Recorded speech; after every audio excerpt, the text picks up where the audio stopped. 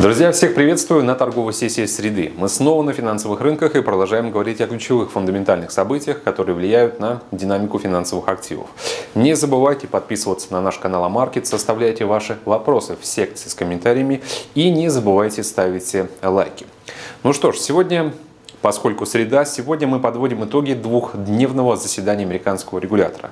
И, конечно же, не только мы, а вся общественность, все инвесторы и трейдеры, все участники финансовых рынков, которые наблюдают за а, событиями на площадках. Сегодня очень важный день для фондового рынка, сегодня очень важный день для американского доллара, потому что от того, какой курс в дальнейшем выберет американский регулятор, будет зависеть в прямом смысле все, друзья. Если э, сейчас э, Опять же, обратить внимание на отдельные комментарии, прогнозы инвестбанков, мы традиционно э, это делаем, то большинство банков сегодняшнее событие, выступление Джерома Паула характеризуют как важнейшее событие для доллара – за последние месяцы. Я бы не стал настолько преувеличивать э, данный инфоповод, но все-таки обращаю ваше внимание, что э, действительно сейчас не просто рядовое заседание американского регулятора. Сейчас э, Заседание, которое может стать ответом на вопрос, как американский регулятор будет бороться с чрезмерными, агрессивнейшими и крупнейшими за последние 10 лет распродажами Э, рынка эм, облигаций, казначейских э, трежерис. И э, сигналы о том, что он будет делать для того, чтобы остановить эти распродажи, будет ли он вообще вмешиваться в текущую ситуацию и станут как раз катализаторами для дальнейшей динамики доллара. Сегодня, друзья, вам точно до заседания ФРС, оно Итоги будут подведены в 21.00 по московскому времени, в 21.30 пресс-конференции. Сегодня вам точно нужно определиться э, с тем, к лагерю каких трейдеров вы относитесь, к покупателям доллара, либо к продавцам. Потому что сегодня действительно будет э, очень важная торговая сессия, не то чтобы судьбоносная, но сегодня индекс доллара завершит день э, с очень сильным отклонением от тех значений, которые мы видим сейчас. И вполне возможно, дальше текущее э, движение может стать э, началом для развития новой, более выраженной э, трендовой динамики. Я уже много раз говорил, друзья, то, что для американского регулятора сейчас очень важно сделать рынки более-менее стабильными, спокойными. Назвать их такими сейчас точно нельзя, потому что все говорят в буквальном смысле о том, что серьезные распродажи казначейских облигаций непонятно на что опираются, учитывая то, что да, они закладываются по то, что а, будет расти инфляция из-за мер экономического стимулирования, но в то же время а, сам американский регулятор а, неоднократно уже делал акцент на то, что всплеск инфляции, вызванный экономическими стимулами, это только лишь временное явление. И на временных факторах нельзя выстраивать позицию именно сброса казначейских облигаций. Но вот почему-то к этим комментариям американского регулятора никто не прислушался. И даже вот в моменте мы сейчас видим трежерис на отметке 1,62%. Это те самые максимальные уровни за последние 13 э, э, месяцев. Очень хорошо то, что сейчас к итогам заседания ФРС мы подходим на таких пиковых значениях, потому что э, ФРСу точно не удастся обойти стороной текущую картину и поведение американских трежерис. И может быть сам факт того, что облигации продолжают оставаться по доходности на таких значениях, заставит ФРС все-таки еще раз взглянуть на объективно на то, что происходит, и, например, э, перенять опыт своих европейских коллег, как я Э, комментировал ранее, которые на прошлой неделе Европейский центральный банк анонсировали готовность покупки э, более э, высокого ассортимента облигаций и увеличили лимиты с 60 миллиардов в месяц до 100 миллиардов. Если американский регулятор пойдет по стопам Европейского центрального банка и забросит на рынок идею того, что он готов покупать больше бумаг, то есть готов проводить более выраженную, мягкую, экономическую политику, этого будет достаточно, чтобы остановить э, э, рост доходности облигаций, спровоцировать тем самым э, снижение курса американского доллара. Мягкая риторика ФРС обязана фактически последовать сегодня по факту оглашения итогов. Еще и потому, что мы по-прежнему наблюдаем за очень слабой экономической конъюнктурой, статистикой. В Штатах накануне у нас было два важных релиза, которые как бы в довесок к последним отчетам по рынку труда позволяют нам понять, что восстановление американской экономики ну, не такое динамичное, как хотелось бы. Розничные продажи, друзья, спад на минус 3%, Э, против прогноза снижения на 0,5%. То есть реальная цифра в 6 раз э, хуже.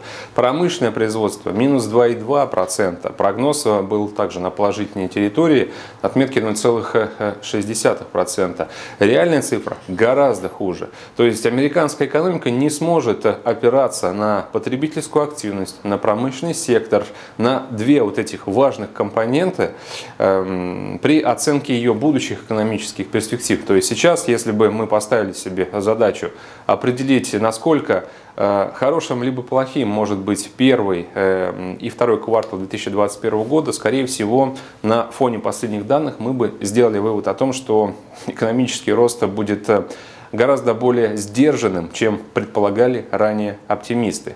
Поэтому общая экономическая конъюнктура, конечно же, это доказательство того, что американский регулятор не имеет абсолютно никакой возможности сейчас позволить себе даже намекнуть трейдерам а, о а, потенциальном росте процентных ставок, либо отказе от программы количественного а, смягчения. И более того, если э, все-таки ФРС хочет сохранить э, рынки стабильными, контролируемыми, ему необходимо сегодня придерживаться более мягкой позиции и пообещать общественности и Паулу, опять же, на пресс-конференции журналистам, которые будут задавать ему вопросы, что если общая фундаментальная картина изменится в худшую сторону, то ФРС будет более проактивным и э, более э, активным с точки зрения новых мер э, стимулирования. При такой риторике, друзья, доллар перейдет к снижению. Поэтому главный вопрос, как поступит сегодня американский регулятор на фоне, опять же, мер экономического стимулирования, которые ранее были приняты. Не забывайте про масштабы. 1,9 триллиона – это фактически 10% от ВВП. И поскольку я озвучил свою позицию, считаю, что ФРС будет э, придерживаться мягкого подтекста, я сегодня рекомендую так же, как и ранее, ставить и верить в снижение курса доллара, который э, как э, по мне, завершит эту неделю в районе 91 пункта или даже ниже. Золото продолжаем покупать, 1735, здесь без каких-либо изменений и отклонений.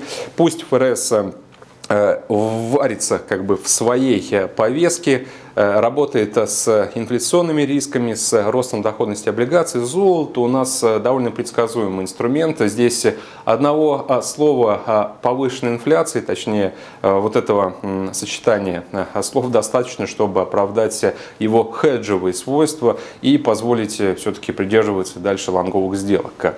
Нефть 68.51 есть две причины коррекционной динамики. Друзья, ну не переживайте, я думаю, что это лишь коррекция, которая подкреплена новостным фоном, но э, этот новостной фон недостаточен, чтобы э, сломать э, именно тенденцию растущую. Опять же, что это за новостной фон? Это намерение Ирана увеличить поставки нефти на территории Китая практически вдвое. Сейчас, по-моему, экспорт составляет порядка 450 тысяч баррелей. В сутки он будет увеличен до 850 уже к концу этого месяца. Наглое поведение Ирана, которое фактически находится под санкциями США. И, может быть, это попытка а, Ирана прощупать приверженность новоиспеченного а, американского президента санкционной политики эм, прежнего президента. Ну, посмотрим, как в итоге э, все э, завершится. Ну и я думаю, что вы все прекрасно знаете о новостях о том, что страны Европейского Союза, Франция, Германия, Италия сейчас в спешном порядке отказываются от вакцины AstraZeneca из-за обнаруженных побочных эффектов, в том числе риска э, появления тромбоза. И есть, конечно же, опасения, что если это решение будет цепным, то есть к э, этому ряду европейских стран присоединятся и другие, то э, это существенно омрачит перспективу экономического роста, поскольку поставит под удары вообще само понятие эффективной вакцинации населения. Но не будем настолько забегать вперед, это пока что лишь прецеденты отдельные. Я надеюсь, то, что в конце концов, э, прочим вакцинам от э, Pfizer и Moderna э, хватит скажем, эффективности, чтобы нивелировать вот этот вот риск, связанный с AstraZeneca. А что касается позитивных факторов, он, пожалуй, сейчас для рынка нефти главный э, и его достаточно, это дефицитное предложение на 1,3 миллиона баррелей в сутки. И до следующего заседания ОПЕК картина э, в целом не изменится. Поэтому я рекомендую придерживаться длинных позиций. Евро против доллара покупаем, друзья, и ставим на закрепление э, этого дуэта активов к концу недели выше отметки 1.20. По фунту тоже моя позиция бычья, но это только лишь взгляд, потому что я фунтом не спекулирую, все внимание пока что на европейскую валюту. Мнение по фондовому рынку вы знаете, это покупки буквально всей фондовой секции с расчетом на обновление новых исторических максимумов. На этом, собственно, все. Хорошей вам торговой сессии. Всем пока.